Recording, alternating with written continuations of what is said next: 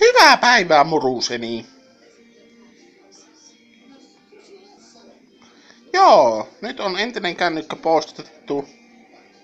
Sen sen myytty ja, ja lähti varaosa käyttöön.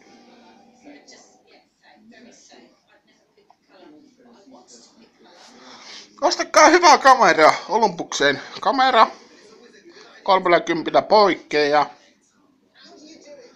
ja, ja.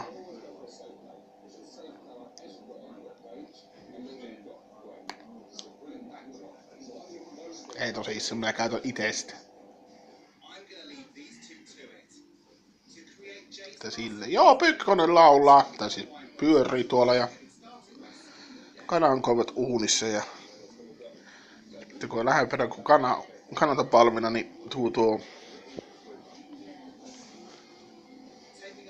pakaryllyt keittee ja sitten tuo marinaati sinne sekkaan. Tullut on muuten helvetin hyvä, kannattaa kokeilla, suosittelen.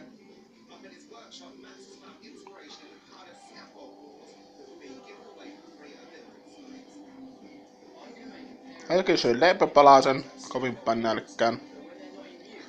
Seuraavaksi ajattelette tubakalle. Onkohan se kahvi? Ei oo.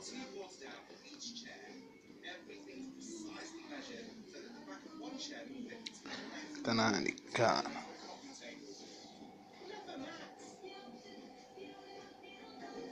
Mutta minä toivotan kaikille hyvää päivän jatkoa. Ja palatta videoiden ääreen kun on aihetta. Moikka!